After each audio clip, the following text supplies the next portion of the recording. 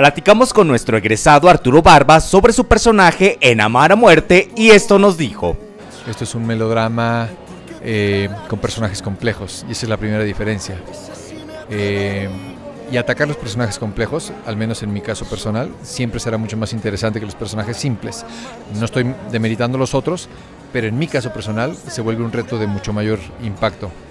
Eh, y poderlo llevar a la televisión, darle una bocanada de aire fresco al espectador, ver, tener la expectativa de si los van a recibir bien, si mal, si no, todo eso te genera como cierta adrenalina y ansia que está padrísima. Pero más allá de lo que pasa afuera, la construcción propia a lo que te dedicas, por lo que estudiaste esto, ha sido una delicia. Una bueno, ¿Cómo lo preparaste? Mira, eh, en realidad había que complejizar mucho.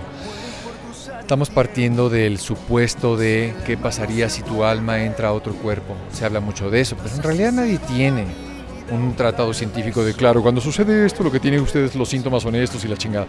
No pasa nada de eso. Entonces, dejar volar la imaginación, escuchar a ciertos esotéricos, leer ciertas cosas, eh, nutrirte lo más que puedas por todos lados. Eh, yo hice de todo un poco, pero al final echamos a volar la imaginación. Con toda esa información, volamos. ¿Tu personaje estará contento con el cuerpo que le va a tocar? Justamente mi personaje, hasta donde voy, estamos grabando el capítulo 65, no sabemos dónde está su alma.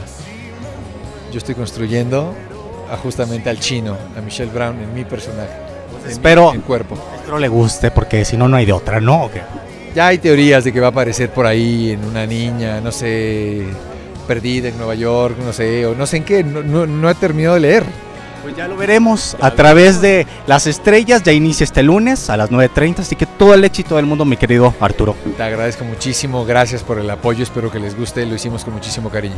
Bueno, él es Arturo Barba, un orgullo sea contigo lo que me queda por andar. Pedirle a Dios que cambie el tiempo y que lo vuelva.